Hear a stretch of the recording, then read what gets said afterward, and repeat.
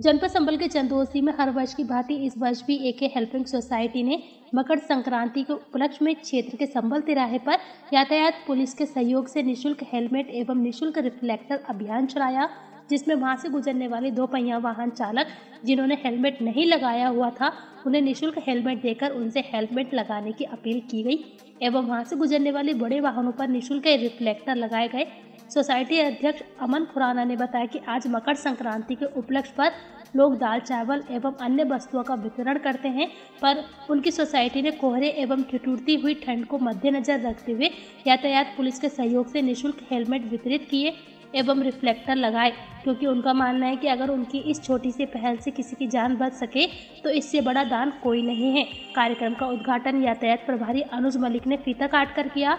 कार्यक्रम में 100 लोगों को हेलमेट का वितरण किया गया और लगभग 50 वाहनों पर रिफ्लेक्टर लगाए गए। जागरूकता अभियान के अंतर्गत उच्च अनुसार, जो हम सड़क दुर्घटनाओं को कम करने के लिए, दुर्घटनाओं को रोकने के लिए एक अभियान चला रखा है। इसी के, एक हेल्पिंग सोसाइटी के सहयोग से ये हेल्प नेट वितरण का प्रोग्राम किया गया है जिससे लोगों में जागरूकता फैलेगी। हमें जब भी टू व्हीलर वाहन पे चलना है तो हेलमेट लगा के चलना है। इसी के मद्देनज़र जो व्यावसायिक वाहन है ट्रैक्टर टोली है इनमें हम निःशुल्क रिफ्लेक्टर लगवा रहे हैं जिससे कोहरे में दुर्घटनाएँ कम हो सकें और यातायात सुचारू रूप से चलता रहे। अपनी एवं सोसाइटी के सभी सदस्यों की ओर से आप सभी देशवासियों को मकर संक्रांति के पावन अवसर की हार्दिक शुभकामनाएँ देना चाहूँगा। साथ ही बताना चाहूँगा, आज मकर संक्रांति के शुभ अवसर पर अन्य लोग दाल, चावल व अन्य वस्तुओं का वितरण करते हैं।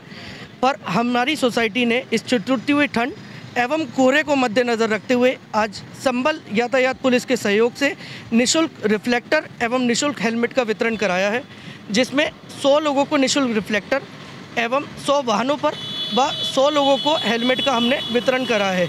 क्योंकि ऐसा माना जाता है कि जीवन सुरक्षा मानव सुरक्षा। जीवन सुरक्षा सड़क सुरक्षा। जीवन रक्षा। तो आज इसी को मद्देनजर रखते हुए हमने ये कार्यक्रम करवाया है। ये भावनाएँ कैसे जागृत हुई आपके अंदर? देखिए पिछले साल भी हमने ये करवाया था रक्षाबंधन वाले अवसर पर क्योंकि रक्षाबंधन के पावन अवसर पर ये माना जाता है कि भाई बहन मोटरसाइकिलों से अन्य दू, दूसरे शहरों में जाते हैं। तो ऐसे में भाई बहन, आगे वाले जो होता है, उसने तो हेलमेट लगा रखा होता है, पर पीछे जो महिलाएँ बैठी होती है, बहनें बैठी होती है, पत्नियाँ बैठी होती हैं, उन्होंने हेलमेट नहीं लगाया होता है। तो पिछली बार हमने बहनों और महिलाओं के लिए करा था, और इस बार हमने सभी को मद्देनज़र रखते हुए सभी के लिए हेलमेट वितरण का कार्यक्रम रखा है।